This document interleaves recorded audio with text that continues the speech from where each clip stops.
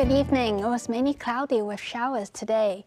At 5 p.m., the area of thundery showers associated with a trough of low pressure was affecting Guangdong today. Up until 5 p.m., today's temperatures ranged from 23.4 to 28.3 degrees, and the relative humidity was between 87 and 95 percent.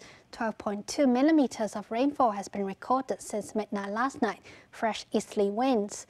The current temperature is 25 degrees Celsius, with the relative humidity standing at 88 percent. So, Freddie, how's the weather looking tomorrow?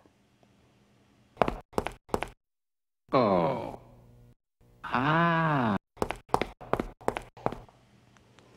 Tomorrow will be a bright day. Temperatures will range between 25 and 30 degrees. Tomorrow morning's air quality of health risk will be low.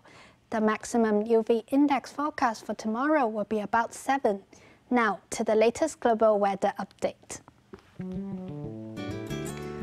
Cloudy in Shanghai, rain in Taipei, thunderstorm in Xiamen. Rain in Guangzhou and Chengdu, bright in Macau.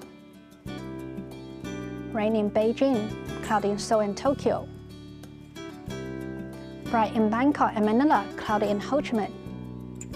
Thunderstorm in Kuala Lumpur and Singapore, cloudy in Jakarta.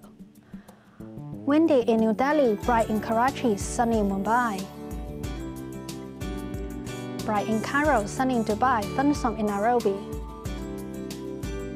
Showers in Brisbane, Melbourne and Auckland, bright in Sydney. Showers in Vancouver, sunny in San Francisco, foggy in Los Angeles. Thunderstorm in Toronto, bright in New York. Sunny in London and Paris, showers in Amsterdam. Cloudy in Frankfurt, bright in Zurich, sunny in Rome. That's the weather. Have a great evening.